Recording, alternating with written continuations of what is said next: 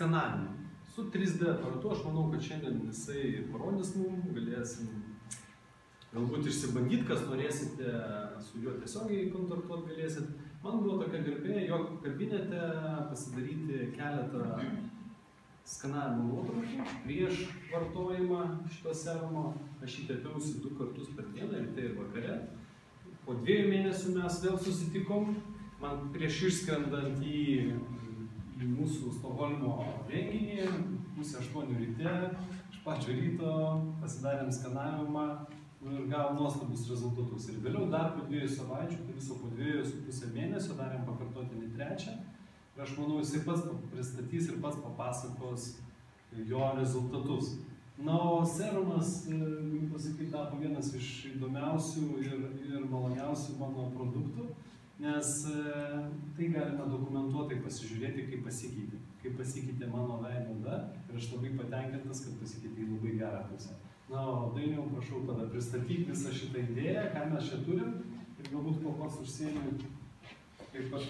Dainius, kaip ir sakėm, Taip, ir trumpai paaiškinsiu, kai viskas buvo daroma. Reiškia, daroma yra trimatė kamera, e, vienintelė pasaulyje tokia yra, kuri,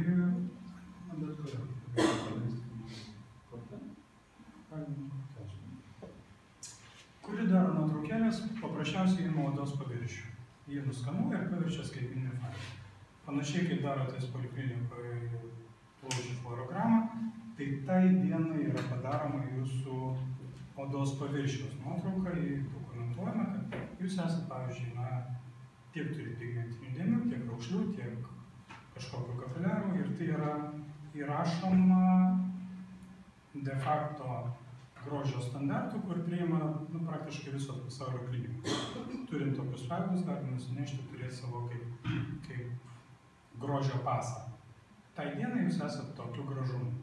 Tai mes, nu, pasitaikė Jonas paranka, reiškiasi, tikrai nelabai tikėjau, kad tas produktas veikia, kadangi produktų tų serumų čia yra krūvus, kadangi čia daug yra kosmetologų, kiek girdėjau, tai visi žino, kad kiekviena save gerbinti kompanija daro paukštinius produktus, kurie veikia nuo visko ir viską. Na, dažniausiai tai veikia tik per pinigus. Tai šitas produktas iš tikrųjų, aš kai dariau nuotraukas, reiškia, antrą kartą pasidariau, aš, aš jas visą laiką iš karto analizuoju. Daugeliu atveju aš perdarinėjau ir bandžiau surasti, kodėl taip gerai. Nepavyko surasti ir aš pakomentuosiu, kas vis dėlto atsitiko. Tai, pabandysiu tik tais prisėsti su ne Microsoftiniu daiktu ir Galima su šitas. su šita mes galime prasivažiuoti. Ja? Taip, jinai važiuos Čia. čia. Ir tiesiog. O jeigu žiūrim praslinkt,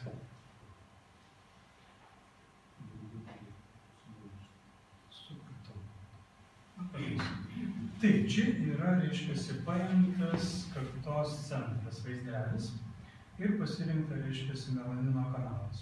E, kamera leidžia išskirstyti sluoksnis, tai yra melaninas, hemoglobinas, atskirai vaizdas, atskirai rūkštės, atskirai poros, kiekvienas sluoksnis jis yra aktyvus. Gaila, kad technika neleidžia prisijungti prie mano kompiuterio ant ekrano, aš paskui galėsiu parodyti visiems ant savo daikto su kamera gyvai, kaip tai galima pasižiūrėti ir pasukinėti. Tai nėra failai, kurie būtų padirbami, jų negalima koreguoti. Ir jie yra, kaip sakant, įrašyti visam gyvenimui tokie ir stovi. Taip. Ir daromas analizės grinai kiekiniu būdu, pasakoma, kiek tas pasikeitė. Ten yra melaninas, kaip sakant, ir gal su to geriau bus. O. Taip, yra trys matavimai, kurie buvo padaryti. Aišku, jokių šviestinčių priemonių nebuvo naudojama. Aš tikiuosi, kad Jonas taip kaip naudojo, kaip sakė, jis nieko kito papildomai nesitikė. Rezultatas yra toksai. Šokinis efektas yra iš karto apie 5 procentais pigmentacija sumažėjo ir sekantį kartą jau nebe. Tai aš manau, kad tai reiškia, kad tas produktas jisai gali tik tais tiek. O 5 procentais pašviesino. Toliau. Melanino variacijos. Melanino variacijos tai reiškia tarp matomų pigmentinių dėmių ir nematomų. Sumažėjo apie 20 procentų, tai yra jų tapo penktadaliu mažiau. Tai kas, kas, kas žino, pagyvenę žmonės, pavyzdžiui, turi pigmentinių jų ant rankų, dar kažkur ir labai dėl jų pergyvena. Tai naudojant ko gero šitą serumą, tai būtų problemos sprendimas. Um, ant jo negalėjau pama- pamatuoti, kadangi jis neturi to padaryti. Toliau yra, yra poros. Poros yra analizuojama, skaičiuojama ir žiūrima. Ir su porom yra įdomus variantai. Yra analizuojama trim, trim grupėms, stambios poros. Prašom niekada nesiųsti šitų nuotraukų. Jo, tai yra darbiniai dalykai, kurie iš tikrųjų nenaudojami niekam, tik tais vi- vidiniam, vidiniam, kaip sakant, pasižiūrėjimui. Savo namuose. Yra poros, kurios yra didelės, apie pusantro milimetro skaičiuojamos, reiškia, trys matavimai, vėlgi bus grafikas. Taip, na matot, kaip jos sumažėjo, reiškia. Toliau, toliau yra vidutinės poros iki milimetro, jos vėl bus suskaičiuojamos tose pačiose vietose. Ir matosi, kad jau tos milimetrinės trečias grafikėlis yra čiūčiut mažesnis negu pačių didžiųjų. Tai reiškia, kad didžiosios poros perėjo į mažųjų statusą ir jų tapo kaip ir truputėlį čiūčiut daugiau. Ir pačios mažutės iki pusės milimetro, smulkiausios, kurios galbūt moterim iš viso neaktualios, nu, ta prasme, vyr, vyrai daugiau turi stambių porų, tai vat su pačiom smulkiausiam tokiom, jos iš karto krito ir toliau jų nebemažėjo. Galima daryti fizinę iš, išvadą, kad kadangi pačios poros jos niekur nedingo, jos tik susitraukė iki tiek, kiek gali, toliau jos ir buvo tokios mažiukės. Viskas, reiškia, šiuo metu ant Jono kaktos visos poros yra susitraukę tiek, kiek įmanoma nuo to, ką jisai naudoja. E, Nes nebuvo jokių kitokių fizinių priemonių, nebuvo nei frakcinio lazerio, nei nieko kito, kas nužudytų kažkokią tai ląstelę.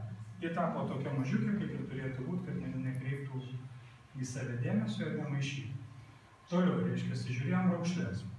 E, Žmogus jaunas, tų raukšlių neypatingai daug turi, bet sistema leidžia jas išmatuoti ir parodyti. Taip, raukšlės, raukšlės, raukšlės, raukšlės, vad buvo, buvo, buvo, jų liko, reiškia, apie 20 procentų mažiau. E, Žinant, kad tikrai nebuvo daryta jokia kosmetinė procedūra, e, kuri būtų invazinė, neinvazinė, a, ir žinant, kad tai yra vyras, kuris, aš, aš tikiu, kad tepėsi du kartus, kadangi pas norėjau matyti Pats rezultatą. sunkiausias dalykas. Jo, jo. Šiaip aš vakarė, kai galiu nuomai atsikelti ir nuėti pasitėti. Ir iš to, to labiau, jo, to labiau, kad reikia pasitepti dvi valandas prieš miegą, kad nusivalyti pagalbę, nu kam, kam, kam šią pagalbę. Tai va, tai čia yra rezultatas iš tikrųjų pakankamai geras. Manau, kad- Išsilygina pagalbas. Brangiai kainuoja, yra labai. Rezultatas yra toksai, kad 20 procentų sumažėjo tos raukšlės, na čia mes turim laiką tarp, tarp padarimo 8.11 atėjo ir 10.28, reiškia, tai čia yra nepilni du mėnesiai. Ir Du mėnesiai ir dvi savaitės. Nu, kažkur tai taip, jau. Tarp, tarp, tarp pirmo, kur didelis efektas buvo čia iš viso trumpai, reiškia, antras jo du mėnesiai. Naudojama tik tais to pačio produkto. Ir tai yra, kaip, kaip sakė, kad yra dokumentuota, kad kažkas kitas padarytas, elastingumas. Tai čia yra tai, ko, kas yra ne kontaktinis matavimas. Sako, raukšlių neskauda, bet jos užtat matosi. Tai ir toliau su šitu viskas. Toliau pabandysiu sekantis nosis. Nosis ten jau yra.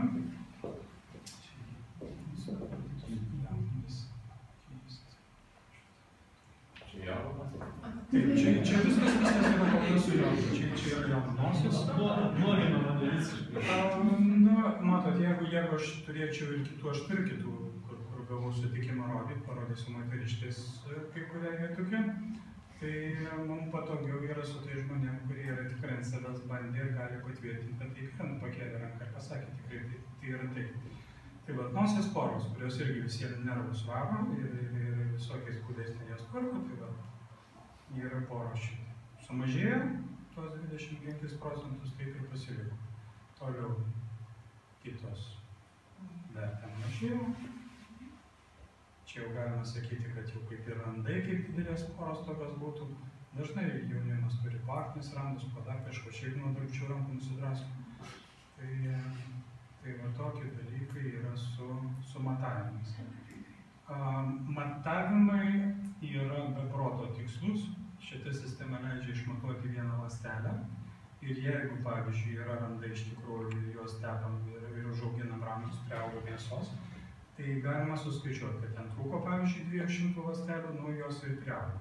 Arba priaugo 118, nu mes jas pamatysim.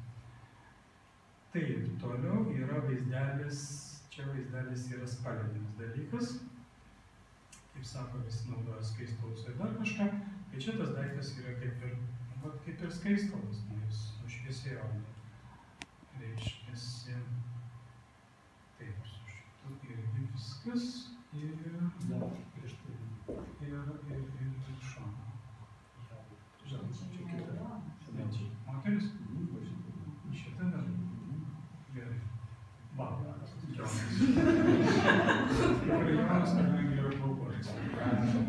Taip, čia yra nazarinė raukšlė, kuri, kaip, kaip kosmetologai žinot, kad yra didžiausias daiktas, kuris duoda pinigus, nes ten bandoma reiškės visko prisileisti. Ir čia yra, um, neprileistina. Ryta, daryta, ryta, jinai yra, yra, yra. Spalva paaiškėja toje vietoje, bet mes žiūrim ne spalvą. A, Žiūrim pačią raukšlę. Ir per tris va čia taip mažėja, mažėja, mažėja. Toliau poros toje pačioje vietoje, apačioj pamatuoti, reiškia, čia kažkur yra lazerius. Čia pabandyčiau pašviesti. Raudonas.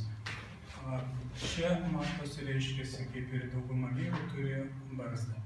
Tai e, matavimai daryti porų skaičiavimą, aišku, ten, kur jau plaukų nėra. Pas mane nepavyktų, nes aš visas iki akių apaugęs. E, bet matosi, kaip jos susitvarkė. E, tūris, kuris yra matuojamas, 0,131 kubinio milimetro. Vienas kubinis milimetras būtų cukraus miltelė, reiškia, tai čia yra dešimtoji cukraus miltelė, va čia visos poros suskaičiuotos, kurios yra pajuodintos, ir čia jų yra, reiškia, jau, na, va, tūkstantosios dalis. E, Vienas tas skaičiukas, reiškia, yra viena ląstelė maždaug fiziškai. Tai čia dar reikėtų jam prisiauginti 64 ląstelės į šitą zoną ir ten nebebūtų matomų porų. Toks, toks rezultatas. Čia reikėjo va, 131 ląstelės. Fiziškai, va taip ūkiškai šnekant, kaip, kaip, kaip ten viskas gaunasi. Tai pirmas, antras, trečias matavimas ir rezultatai tokie. Ankšt, ankšt, ankšt, paskutinis rezultatas nuo pirmo yra 38 procentai. Kas, kas, kas, kas iš tikrųjų yra padaryta be, be jokių fizinių procedūrų. Tepėsi, tepėsi, tepėsi, nu ir prisidika jau Um, taip, ir kad tikrai patikėtumėt, kad tai yra išvisi jo uždarymas, kuris yra, ir pasilikime moteriškė. Taip, čia yra moteriškė, kuri jau nebeturi, nebeturi tokių ryškių ūsų turi, nes yra pakankamai pagyvenus auga tie plaukai. Reiškia, tai vat, raukšlytės, jos yra matuojamos. Ir, ir tas matavimas irgi yra indeksas kažkoks, tai čia yra po dviejų savaičių. Mes susitikom ir ji nenaudojo visiškai nieko. E, Pavyko susitarti, kad išmestų visą savo kosmetiką, nu kiek neišmetė visą. E, Čia yra iš tikrųjų žmogus, kada nors pavyks mums susitikti, galbūt irgi pasikviesti. Tai vieno kosmetikos žurnalo redaktorė, tai į tą reikalą pažiūrėjau labai atsakingai, nes, nes vėlgi buvo pristatytas naujas produktas, apie kurį susitarta, kad parašysim daug daug straipsnių. Tai ji sąžininkai butelių. Dabar čia yra darytas matavimas, e, žiūrėkim pagal laiką, yra 10.28 vienas matavimas ir 11.8.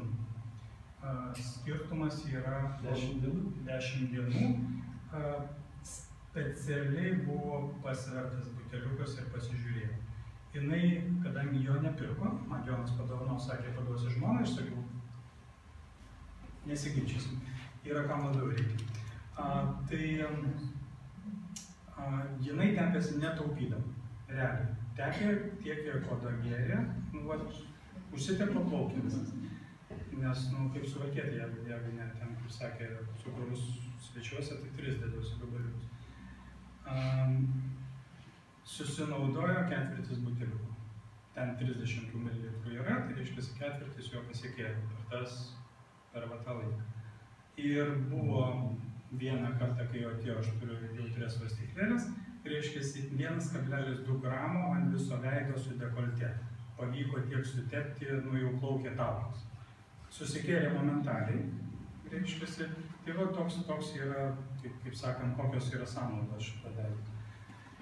Tai 3 gramai dienai čia yra maksimum, ką galima žmogui įtepti, nes toliau nebegers. Toliau, toliau, toliau dykas lygikas jo naudojimas. Čia yra taip, toliau žiūrėkim oras. Oras jo susitvarkė va taip per, per vieną kartą. Per 10 dienų. Čia, čia 10 dienų, čia yra 10 dienų nenaudojant visiškai nieko kito, jokių kitų priemonių. Tik, balan, tik tai skin serum. Tik tai serums, tai yra tik tai serums reiškiasi. Tai ir pati linksmoji dalis, apie kurią čia nebuvo pakalbėta, čia yra, reiškia, hemoglobino kanalas, kur rodo tik tais kapiliarus kraujagyslės. Bet šita dalis labai įdomi.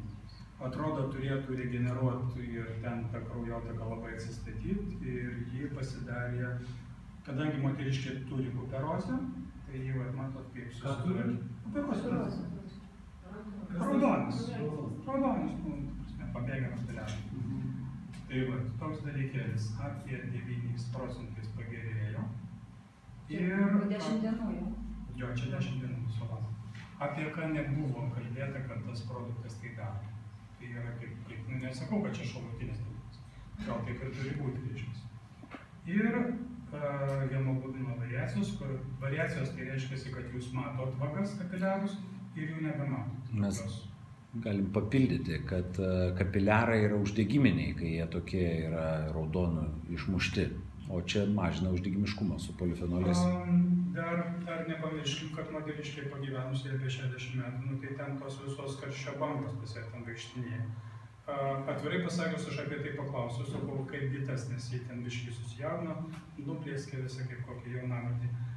Sako, jau nebepastebi to dalyko, kad tai yra. Mhm. Tai reiškia, tos moteriškės, kurios yra pabūdę ir jau ten prasideda menopauzės, turėtų tas dalykas lygiai taip pat padėti. Normalizuoti odos, odos visą tą. Ne, neplieskė, kaip sakau, nu, nu pagiri kažko, tai iš karto nuraudo. Tai jau to dalyko nebedėlė. Ir pigmentacija. Pigmentacija lygiai taip pat, reiškia, sumažėjo labai nedaug, viso labo 3 procentais, bet sumažėjo, e, labai daug sumažėjo variacijos. Ką reiškia, kad bendras plotas jisai nepašviesėjo, tačiau selektyviai veikia pigmentinės dėmės. Pigmentinės dėmės iš karto buvo suėstos kaip tokios, o ten nešviesino, nes būtų, kad pasitėpė ten rūkšnį ir ten kaip, kaip, kaip indėnas išsibraukė, reiškia, ir Ne, viskas to lygiai, reiškia, šviesėje, pigmentinės dėmės jėga selektyviai. Tai lygiai taip pat panaudoti, jeigu yra senatvinės dėmės ant rankų, manau, nu dabar neturiu nuotraukų, nes neturiu ant ko daryti. Kadangi produktas iš visiškai naujas, man jis buvo net ne tik kas stebuklas, aš apie tai esu girdėjęs, alyvas jau ten turiu, turiu metai daugiau, bet šito daikto nebuvo ir, ir tikrai aš nuoširdžiai nustebęs, kaip viskas gaunasi. Na tiek, jeigu, jeigu turit klausimų, kaip tai daroma, kodėl ir, ir, ir, ir kaip tai pasidaryti, prašau. Klausimas pas mane buvo dabar su. Tai reiškia, jos sumažėjo iki tam tikro dydžio ir vėliau jos nebesikeičia. Jos natūraliai pas mus būtų kiekviena. Taip, jos, jos, jos yra, jos, jos na, na, kaip, kaip ir lastelė, je- jeigu išsiplėtus ir matosi, ten tai pri- priaugus ten kažkokio purvo, tai matosi, kad ten komendano išsikišę, dar kažką, nu, tai pas, pas patį susitvarkė iki tiek, kad jos, nu, tokios, vat, kaip, kaip, kaip sugalvota. Taip ir yra. Dar klausimas. Tarkim, yra suleistas stabilizuotas hialuronas, ne? Naudojant šitą kremą, e, serumą, kaip veiks vienas kitą? Ateikit pabandysim. Tikrai neturiu tokių bandymų ir negaliu atsakyti, tai yra, sakyčiau, ten būtų daromas koks nors termažas, kuris ten jį suskaidytų. E, kremas pats jisai nei kaitina, nei ką. Tarkim, gerai, naudojant tą balansinį foil, tą, ne? Ir, tarkim, tekantis kremų. Bet sistemingai da, darosi žmogus mezoterapijas, ne? Dar yra suleistas stabilus hialuronas, ten, tarkim, botuksas, Kaip tai reaguos su visu šitu? Dar kartą atsakau, aš esu technologas matuotojas. Aš galiu jūs pamatuoti, jūs ateikit su ta visom situacijom ir mes po mėnesio turėsim rezultatą. Nors kad ir kas dvi dienos ir pasižiūrėkim, koks bus poveikis. Ir tada visiems galėsim pristatyti. Nes čia klausimas būtų gamintojui, bet Idėja yra iš tikrųjų, kadangi tas serumas yra labai naujas, jisai rinkoje atsiradęs